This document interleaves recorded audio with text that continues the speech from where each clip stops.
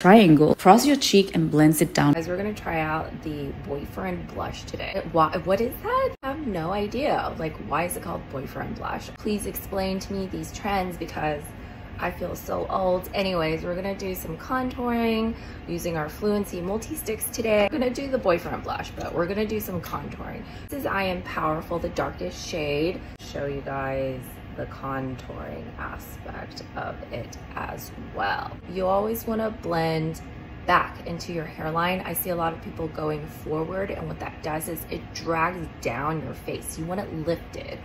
So always blend backwards tap, tap, tap, go around in circular motions, but then I always move back. My face broke out recently because I got a new face wash and I have all these like little bumps now and my face is red and inflamed, trying to let it, my face go back to normal.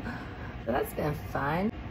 Now the boyfriend blush, very straight. I think she went like this and then drew like a triangle.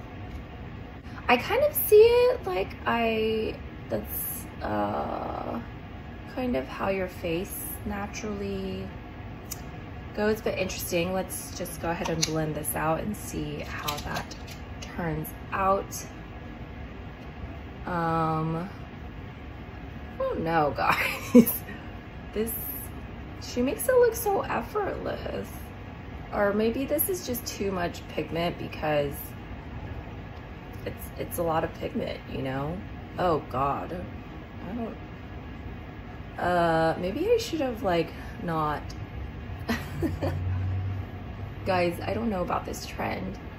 I'm, I feel like I'm doing it wrong. Um, oh, okay. Oh my God, this is so red.